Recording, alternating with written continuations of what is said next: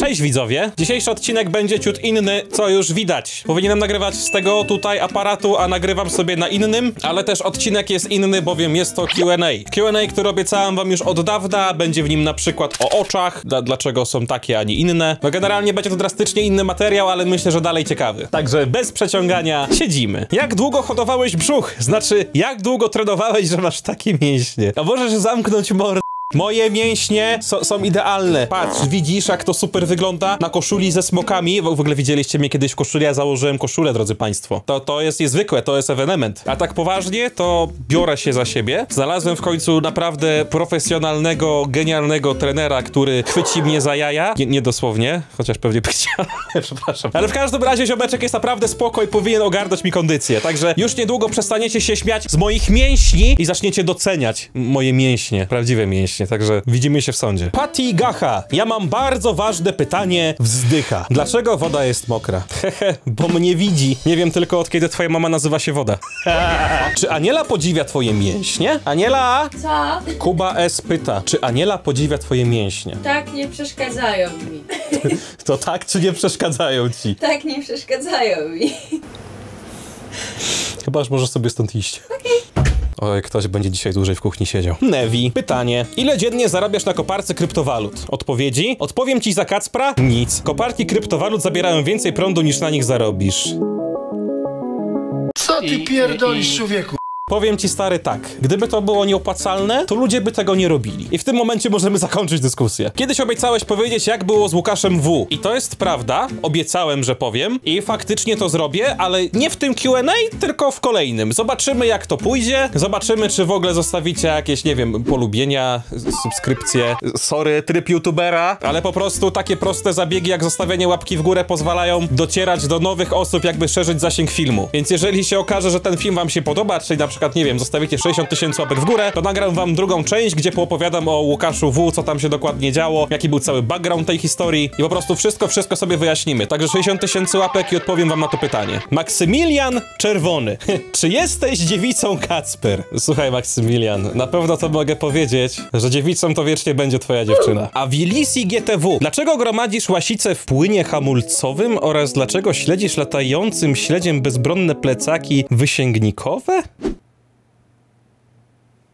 Jak poznałeś smoczycę oraz historia o twoich oczach, to mnie ciekawi. Wiesz co, jak poznałem Anielę, to jest akurat bardzo proste, bo poznaliśmy się przez internet i jakoś tak zaiskrzyło, ale jeżeli chodzi o oczy, to generalnie jak dobrze widać, one mają różny kolor. Tutaj jest inna tęczówka i tutaj jest inna tęczówka. One są dwukolorowe, nie jest to w żaden sposób szkodliwe, jest to po prostu heterochromia, czyli taka wada, ale nie wada, że po prostu masz dwa kolory tęczówek. Ale druga ciekawa kwestia na temat tych oczu, nie widzę naprawy. To jest taki mało znany fakt, ale na lewe oko widzę normalnie, ale na prawe to tak już średnio bym powiedział. Generalnie myk jest taki, że jak się rodzicie, to zawsze są wykonywane badania. To się tam bodajże nazywało skala Abgara, coś takiego. I podczas tych badań lekarz musi określić, czy coś wam dolega i wydać przy was jakąś tam skalę punktową. No i lekarz tak mnie ocenił, no, no, no zajebisty człowiek, no kurwa, ziomeczki, no idealny jest, nie? I bęk, w tym momencie max punkciku, wypisujemy do domu, wszystko jest spoko. No ale okazało się, że nie, bo moi rodzice w ciągu pierwszych kilku miesięcy życia zaczęli zauważyć, że coś z tymi oczami jednak jest nie tak. Bo prawe zaczęło się robić jakieś takie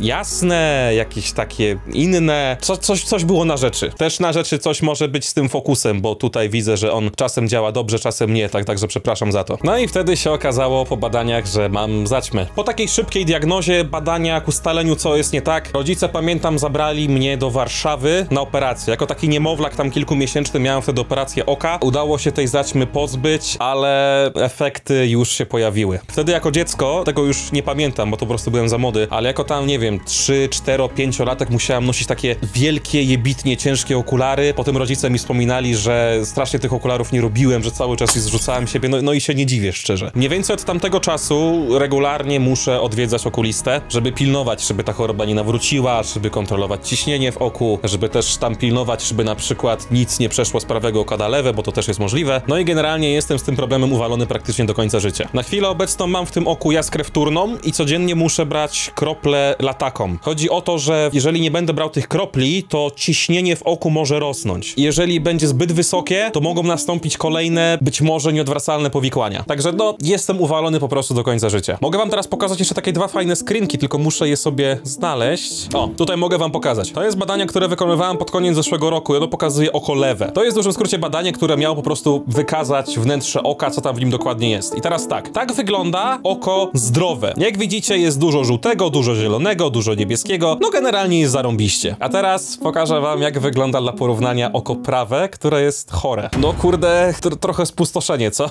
I tak jak jeszcze raz na tamtym zdjęciu widzicie, że naprawdę coś w środku jest i to oko żyje i wszystko jest prawidłowe, tak na prawym oku dosłownie ledwie co. W sensie na przykład widzę, że ta lampa się świeci, widzę kawałek ściany, ale na przykład chyba, chyba patrzę prosto na aparat, nie wiem, bo nie widzę, także no jest kurde słabo i to po prostu jest historia moich oczu. Są kolorowe, bo są kolorowe, ale to, że przy okazji naprawę gówno widzę, no to już taka dodatkowa informacja dla was. Hmm, zastanowienie level hard. Czy będzie kiedyś jakiś magicznie odcinek bez sponsorowania? Tak, będzie to odcinek, który właśnie teraz oglądasz, bo nie ma on żadnego sponsorowania, bowiem żeby zrobić sponsorowanie, to ktoś by mi musiał zapłacić. A nikt mi za ten odcinek nie płaci, robię go z własnej nieprzymuszonej woli, ale żeby nie było za dobrze, to chciałbym cię zaprosić do pewnej gry. Tak jak tutaj widać w tle, troszkę się odsunę, tutaj na monitorze przez cały czas w tle leci taka fajna gra, jaką jest One Night Casino. Jest to gra Isamu i szczerze mogę wam powiedzieć, jestem w szoku, jak ona potrafi wciągnąć. I teraz tak, mamy tutaj bardzo fajne, proste menu, kilka slotów, kilka jackpotów, ruletkę, koło fortuny, możemy sobie wejść, otworzyć darmowe. Dostaliśmy 5 milionów, otworzę sobie drugie. To dostaliśmy 75 milionów końców. Super. Jakby cała gra sprowadza się do tego, że macie po prostu takie wirtualne kasyno, w którym sobie zarabiacie pieniążki. Ale jest to o tyle spoko, że w grze są rankingi. Czyli jak kliknę sobie u góry po prawej, to widzicie, że mam 9405 miejsce, przez to, że mam 296 poziom. Ale co najważniejsze, w grę możecie grać ze mną, bowiem mamy własny klub, sobie tylko nagrodę odbiorę, mamy własny klub, który nazywa się Rites. I do tego klubu możecie dołączyć również wy. Tylko błagam was, jeżeli dołączacie do klubu, to grajcie, bo nie chcę mieć takich martwych kont, bo chcę pnąć się po top 1. Klub ma już 26 poziom, możecie go sobie rozwijać, wykonywać zadania klubowe, potem też macie rankingi. No generalnie jest to naprawdę bardzo fajna sprawa. I teraz jako, że porozmawiałem troszkę z Isamu, to powiedział, że jeszcze załatwi mi fajny kod dla was. Mianowicie, jeżeli macie urządzenie z Androidem, nie, nie Apple'a, bo, bo Apple zabrania, ale jeżeli macie urządzenie z Androidem i wpiszecie sobie w ustawieniach kod Kacper, to dostaniecie 20 milionów końców na start, co jest naprawdę na start bardzo dużą kwotą. Gierkę oczywiście za friką możecie pobrać sobie z opisu. Będzie tam bezpośrednio link do App Store'a i to Google Play'a, także możecie sobie pobrać i na Androida, i na Apple'a. Do czego ja was serdecznie zachęcam. Polecam jeszcze raz klub Rites. I teraz tak, magicznie to jest odcinek bez sponsorowania, bo nie wziąłem za to ani grosza. Gra po prostu jest zajebista i możemy razem wspinać się w rankingu. Dlatego wam o niej mówię. Gdyby nie YouTube, to czego byś się podjął w swoim życiu? Pokaż odpowiedzi. Pewnie budowlanki, bo poza tym to chyba prostytuc... O ty!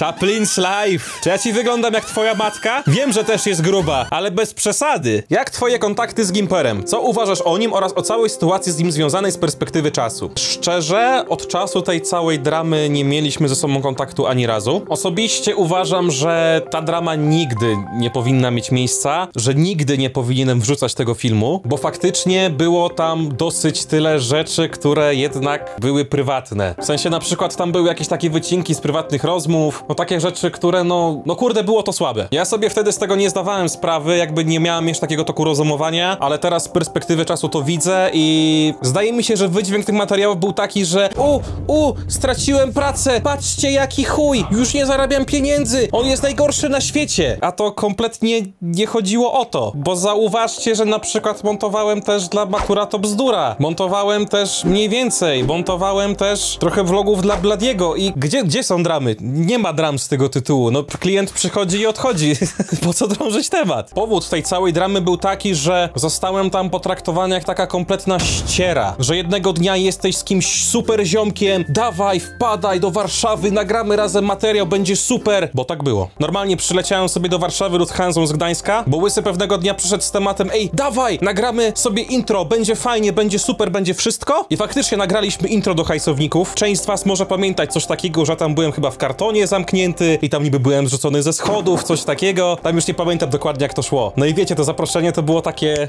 No dawaj, dawaj, dawaj to kurwa. Złapiemy cię w sidła. Bo tego samego dnia wtedy właśnie dostałem tą ofertę, że 50 na 50 przez 5 lat e, mogę ci kupić lepszy internet, mogę ci kupić aparat, ale w zamian połowa twoich zarobków przez 5 lat leci dla mnie. Każda osoba, która potrafi liczyć stwierdzi, że kurde, 50% w zamian za kupienie aparatu za 3000 zł plus internetu za 50 zł miesięcznie, to może nie być do końca dobry układ. Więc narzuciłem kontrofertę, ta kontroferta się nie spodobała, no i generalnie temat przeminął. Tylko, że potem zaczęło się bardzo ciekawe podejście w stosunku do mnie, bo już nagle nie było odcinków tam o Overwatch z montażystą, jakiegoś zapraszania na chlanie do Warszawy, jakieś spotkania na eventach, tylko nagle pojawiła się sucha relacja montażysta-youtuber. I też chwilę później, po odrzuceniu tego deala, z kanału Eweliny Orzegowskiej, wówczasnej dziewczyny Gimpera, zniknął film nagrany razem ze mną. I teraz dam wam ciekawostkę, to był albo najpopularniejszy, albo drugi najpopularniejszy film na jej kanale. Jaki normalny youtuber usuwa najlepszy film ze swojego kanału? No tutaj coś zaczyna śmierdzieć, nie? Coś jest kurde nie tak. I takie wiesz, dzień A, dawaj nagramy wspólny odcinek, dawaj wystąpisz materiale sponsorowanym, dawaj nagramy super intro. I wtedy dzień B, dostajesz umowę, ją odrzucasz, a dzień C, już nigdy więcej nie widzimy się na oczy. Ewelina, weź usuń ten film z nim, bo on odrzucił moją ofertę. I takie no kurde...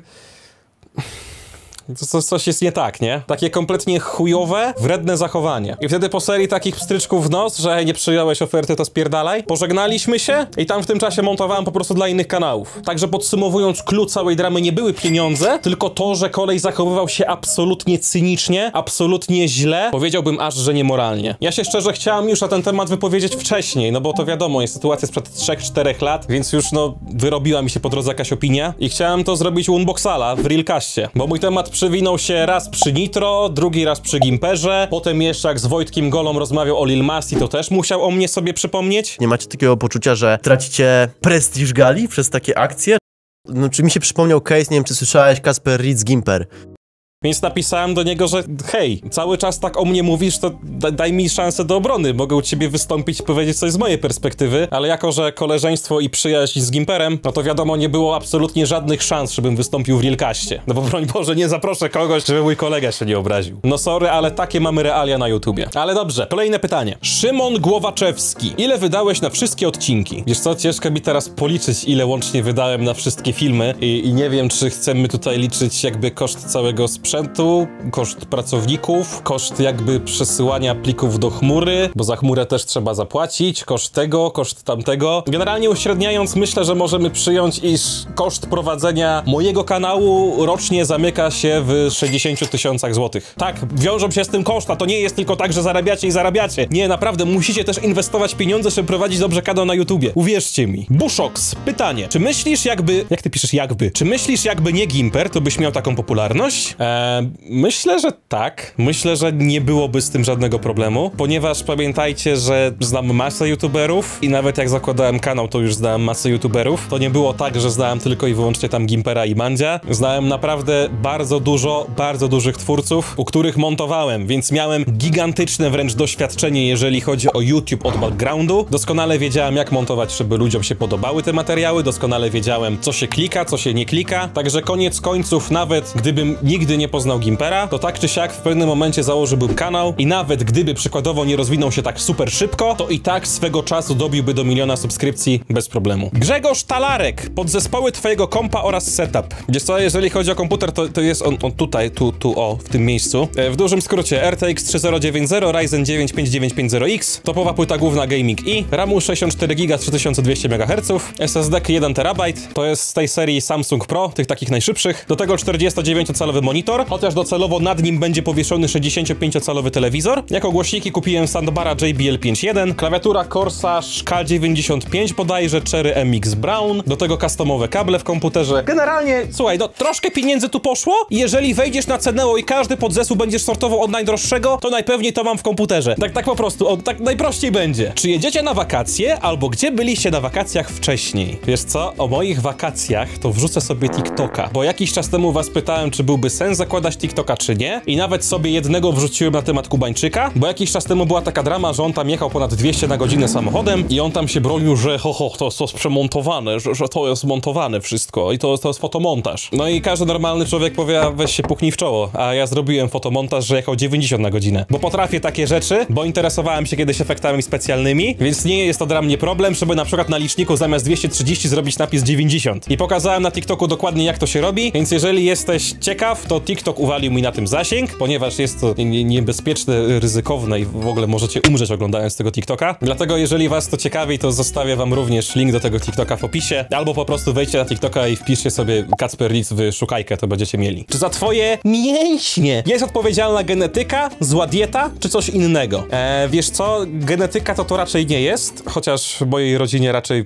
wszyscy są więksi. Myślę, że to jest kwestia typowo złej diety, bo aktualnie u mnie wygląda to tak, że jak wstaję rano ze wschodem słońca o godzinie 14, to jem sobie śniadanie, na przykład tam, nie wiem, dwie bułeczki z dwoma parówkami i pomidorek, po czym siadam do kompa, pracuję, pracuję, pracuję i jak jest tam godzina, załóżmy 21, no to e, robię sobie jakiś tam większy obiad, nie wiem, ugotuję pierogi, czy wstawię sobie jakąś małą pizzkę do piekarnika, czy cokolwiek. I to są tak naprawdę dwa posiłki dziennie, co jest bardzo złym pomysłem, bo wtedy rozwalacie sobie metabolizm, generalnie jecie za dużo i wtedy wam się rozszerza żołądek i jesteście głodni cały czas i to jest takie błędne, błędne koło. Aktualnie to się będzie zmieniać, bo tak jak już wspominałem, szykuje mi się naprawdę dieta, naprawdę ogarnianie się, także myślę, że za miesiąc, dwa miesiące będzie widać już te takie pierwsze fajne efekty, ale koniec końców zobaczymy, jak to wyjdzie w praktyce. Ale dobra, kochani, wyczerpaliście swój dzienny limit pytań. Jeżeli macie jakieś kolejne ciekawe rzeczy, o które chcielibyście zapytać, to sekcja komentarzy jest wasza. Pamiętajcie, że jeżeli stawicie 60 tysięcy łapek pod tym filmem, to w kolejnym opowiadam wam, jak dokładnie wyglądała sytuacja z panem Łukaszem W. Pamiętajcie też o klubie Rites, klubie Rites, do którego możecie dołączyć już teraz, pobierając gierkę One Night Casino. Link do niej macie w opisie oraz przypiętym komentarzu. Jeżeli jesteście graczami Androida, to wpisując kod Kacper w ustawieniach, dostaniecie 20 milionów na start za friko. I na start jest to naprawdę duża kwota, także koniecznie pamiętajcie, żeby sobie wklepywać ten kod. A tymczasem ja żegnam się z wami. Czekam na wasze kolejne pytania, czekam na 60 tysięcy łapek. I jeżeli odcinek wam się naprawdę spodoba, to kręcimy jego kontynuację. A tymczasem, jeżeli nie widziałeś tego wspaniałego filmu, koniecznie go sobie kliknij, bo naprawdę warto. Jakimś cudem algorytm znowu ograniczył jego zasięg, a jest naprawdę mega, mega śmieszny. A tymczasem życzę ci miłego dnia, weekendu, przyszłego tygodnia, w ogóle całych wakacji i widzimy się już w kolejnym odcinku oraz One Night Casino w klubie Rites. Trzymaj się ciepło, cześć!